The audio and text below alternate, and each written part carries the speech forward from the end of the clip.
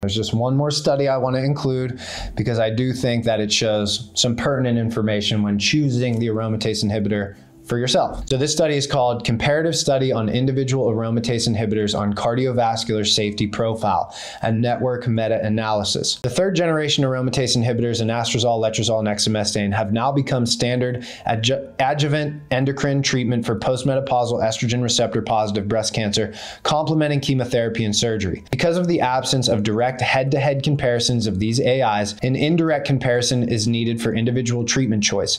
In this network systemic assessment the cardiovascular side effects in using anastrozole, letrozole, and exemestane based on original studies on AIs versus placebo or tamoxifen were compared.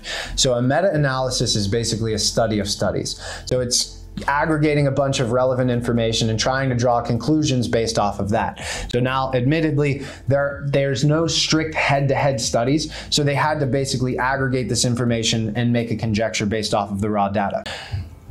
But when you actually dig through this information, what you'll find is that in terms of the trends, letrozole seems to be the most dangerous, followed by exemestane, followed by anastrozole being the safest.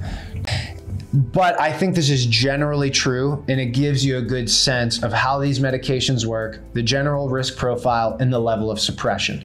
So, just to kind of keep it very simple, anastrozole, tried and true, used all the time good degree of estrogen suppression and generally considered safe. Letrozole, hard level of estrogen suppression, could be potentially dangerous. Exemestane permanently renders the aromatase enzyme inert.